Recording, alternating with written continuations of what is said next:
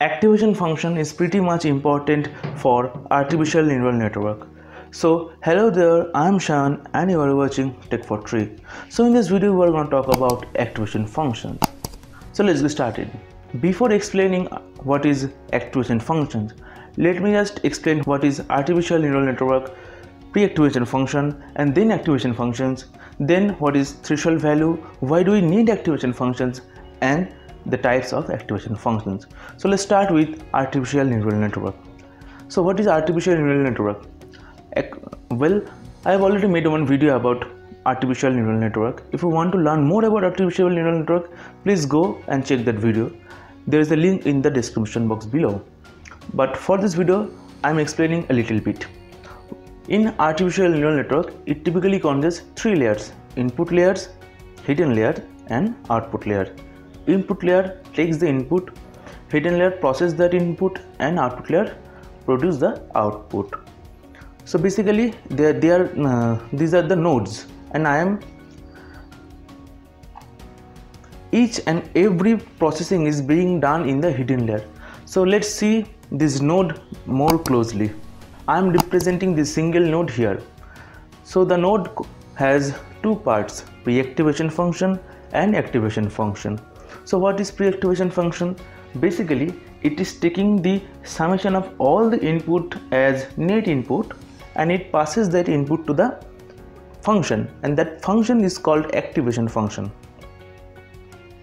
See, it is taking all the inputs and it calculates the summation of all the inputs as net input and then it passes the net input to the uh, function and that function is called actually activation functions.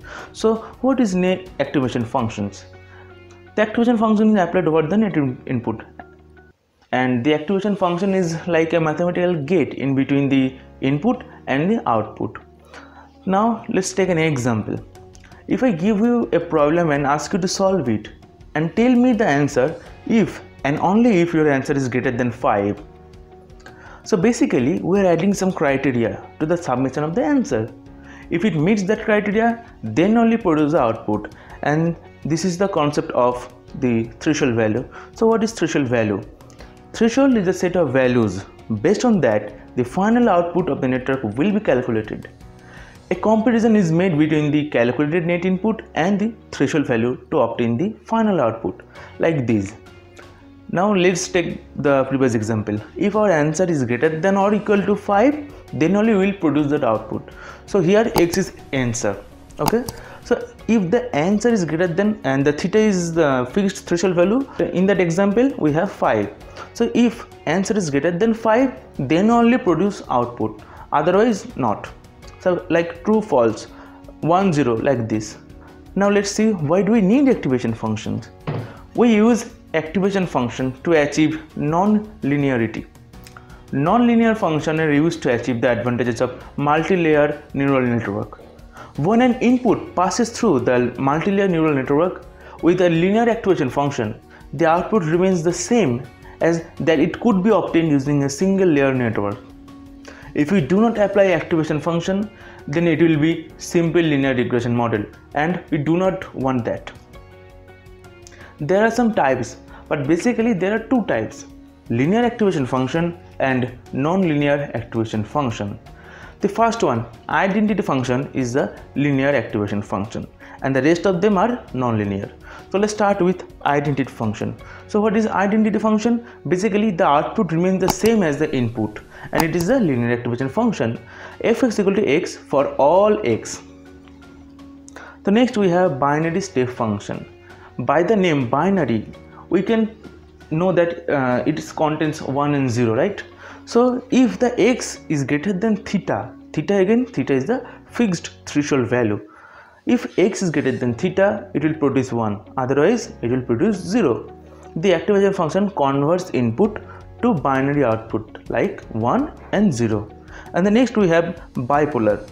So bipolar step function is basically the range is minus 1 to 1 if x is greater than theta again theta is the fixed threshold value it will produce 1 otherwise it will produce minus 1 this activation function converts input to bipolar output so in binary it, it was 1 and 0 and in bipolar it is 1 and minus 1.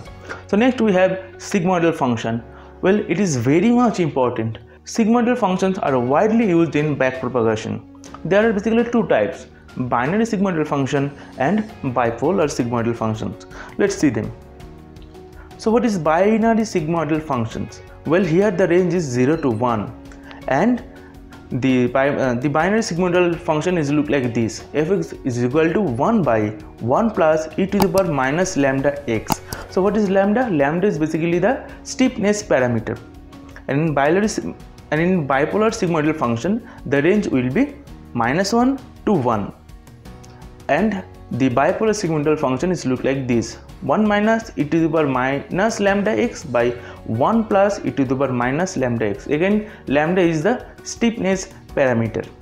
So next we have hyperbolic tangent activation function or TANH see TANH is closely related to bipolar sigmoidal functions it is look like this. E to the power x minus e to the power minus x by e to the power x plus e to the power minus x.